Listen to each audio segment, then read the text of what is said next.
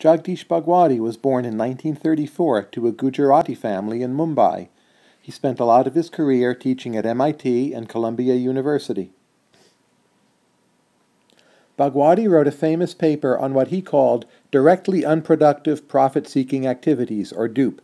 This is sometimes called rent seeking behavior by other economists. The point here is simple.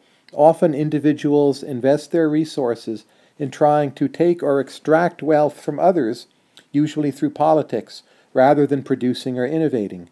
When this happens, it leads to lower rates of productivity growth in an economy. Bhagwati, along with Gordon Tullock and Anne Krueger, was one of the first economists to point out the importance of directly unproductive profit seeking activities, or again, as it is often called, rent seeking. For decades, Bhagwati has been a major advocate of free trade and globalization, and in many ways he has defended a classically liberal point of view on development economics.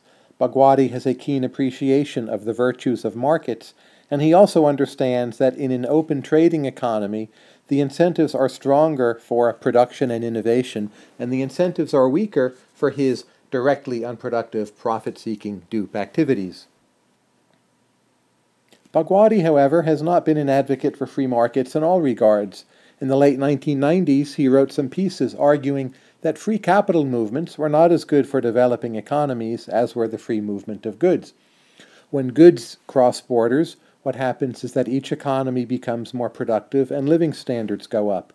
Bhagwati worried that when capital crossed borders, there was the risk that capital would first flow into a developing economy and then later be pulled out very rapidly, leading to a lot of unneeded volatility and also perhaps some financial crises. This argument was seen as very important during the Asian financial crises of the late 1990s, at the time Bhagwati wrote. In sum, Bhagwati is one of the most important and most influential Indian development economists. He has made major contributions to the key areas of corruption, trade, and the flow of international capital.